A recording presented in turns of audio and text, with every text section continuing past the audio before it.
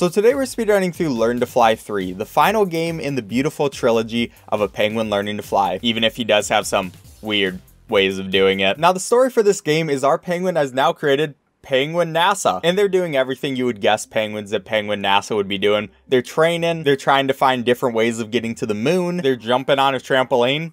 I guess. And they're using TNT to explode things. Everybody loves doing that. But finally, we get some plans, and there's some things that might actually work because it's like flying but up. Yeah, this is a beautiful revelation. Now we can start our speedrun. As soon as we click on a million, we get a little cutscene, which we can skip. And the first thing we want to get is the slingshot. And yeah, it's a slingshot. We have a little penguin pulling our slingshot, and then we make it into the air. Hooray. And then with that, the next thing we're going to upgrade is getting some pressurized gas. So it's just like any other learn to fly game, you slowly get better and better and go farther. So after that one, we can upgrade our slingshot twice. That's going to be able to make us go even farther. And one thing you might notice is as we reach the top, we are going to abort right away. And the reason for that is if you don't abort, you normally have to wait a tiny bit and it's kind of just not worth it. So we'd rather just abort and then keep going on with our life. Try to save that time, you know, easy stuff. So our next upgrade, we have to save up $400, so we just have a tiny bit more to go. And with this next takeoff, it should work. I'm just to do one more of these, abort that one. And what we're to buy now is the Sonic Burst. And the Sonic Burst is really nice because, I mean, it's a Sonic Burst you can probably already guess what it does. So that's going to help us go a lot faster. And then with that, we're also going to switch our gun, or I guess our launcher that is now a gun, and make it the Russian roulette. So with this, sometimes you will get a good launch and sometimes you will get a bad launch. And it's pretty much just luck which one happens. So we're going to spin it. We got a bad launch, so it's barely going to hit us anywhere. And I don't know why they decided to design it that way. I feel like it's not the best way to design it, but I mean, good for them. I mean, I'm not going to complain. I'm not the one who came up with this brilliant idea of getting a penguin to the moon. And yeah, we're we're just going to do a couple more launches, use our Sonic Burst to get up here. We're starting to hit some different things like paper airplanes that are in the sky for some reason. But now we can go and buy El Fuego and that's going to be a really nice upgrade. Because El Fuego, I mean, just look at it. It's beautifully engineered. And then after that, we can buy another one of these pressurized gas, and we're just going to want to upgrade El Fuego for a while until it gets to level 5. Each time you upgrade something, it's just going to give you upgrades obviously. I don't even know why I tried to explain that. It's just going to help us go farther. I mean, yeah, really, I should not have even tried to explain that. But we just want to upgrade this one for a while so we can get the maximum distance and keep going. I believe this next upgrade is going to be about $2,000, so it's going to take a couple of these launches, but we're going to make it there eventually. Our penguin is very much determined to go and destroy the moon. I'll be honest, I don't really understand why he hates the moon so much, but I'm on his side, so I'm just going to help him get there. And this one is going to be an upgrade for El Fuego. We can just do a couple more after that. And yeah, we're doing pretty good so far. Each time we're going just a tiny bit farther, and at the end of the day, that's all what it's really about. But we can do this last upgrade for El Fuego, and now it's time to upgrade our pressurized gas a bit, because that's just going to be able to give us a tiny bit more height. At this point, we're making so much money each launch, so it's kind of amazing. We can upgrade so many things. I'm to get these up to level 4, and we're also to try to upgrade our Sonic Burst a bit. And these two beginning Sonic Bursts are pretty much all we're to be using for the next little while, because there's no point in staying in the air longer than those two Sonic Bursts. We don't have the initial launch anymore, and it just makes more sense to keep going. So I can upgrade both of those to level 5, upgrade our Russian Roulette a tiny bit, and now it's time to get a new launcher. We will have to wait a tiny bit more, keep upgrading our Russian Roulette before we get there, but that seems about where we should have enough money to buy a nuclear reactor. Yeah, we're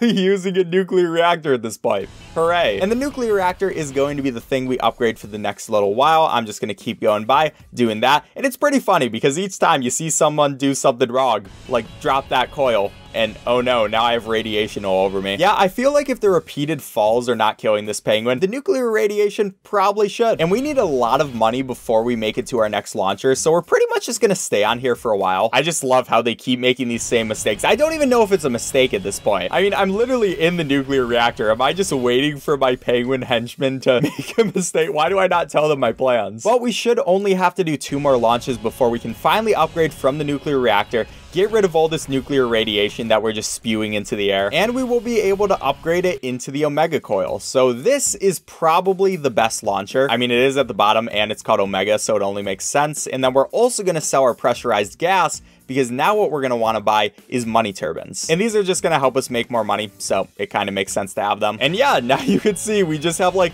money machines strapped to us.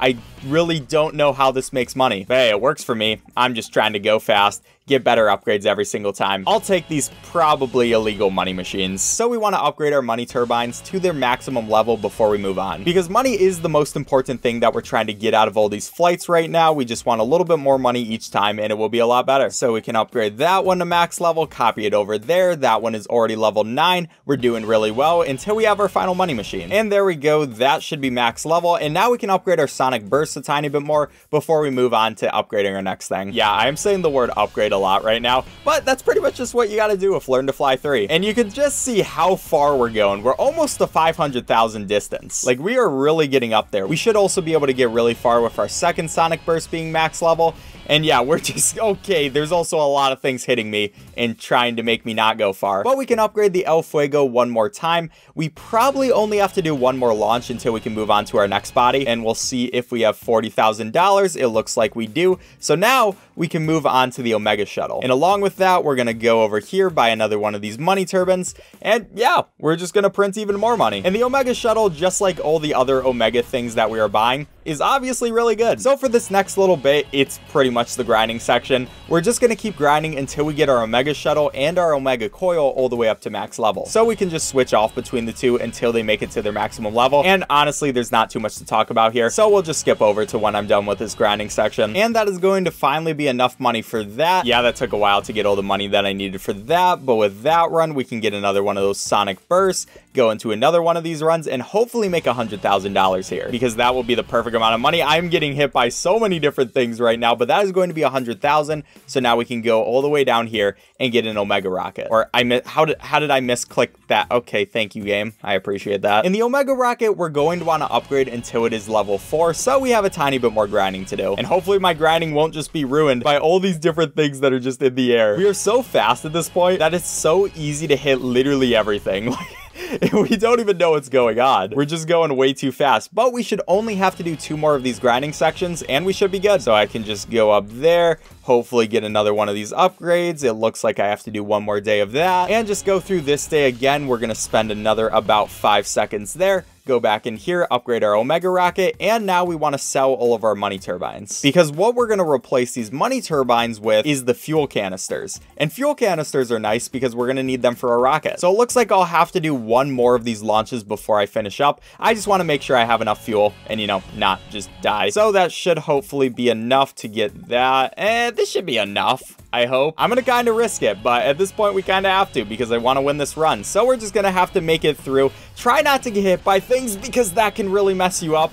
Yeah, this game can be really annoying with that. And we're already 600,000 altitude up. So we're doing pretty good so far. All we have to do is slowly glide through the rest of this place. Hopefully not get hit by planes. I'm sorry about that. I might have just killed a lot of people but whatever, it's their fault. They should know that you should never get in front of a penguin. It's just not a good idea. And we just have to fly the rest of the way up. Again, we're kind of hoping that we have enough fuel for this. I think we should, but if we keep getting hit by planes, it might not be the best area. Please stop it. But with all the fuel canisters and all the upgrades we did, all we have to do is really hope that our Omega rocket is going to be able to make it to the end. I mean, we pretty much have the best array of items possible. We have everything that's named Omega, and you already know that's going to be amazing. And then we just have a bunch of other things that are working out really well for us. Unfortunately, this part is kind of slow, but it's just part of the speedrun, and it's kind of an interesting part because instead of just resetting over and over again after 5 seconds, you actually get to play the game. Who would have ever guessed? But it looks like we are very close to making it to a million altitude, so this should be the run. We just have to make it a tiny bit farther.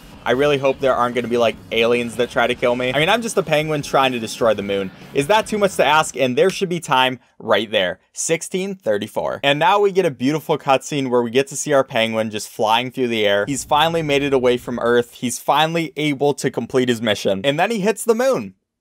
And I think he probably died. And then the weirdest thing happens with this cutscene. And we see this hedgehog, like...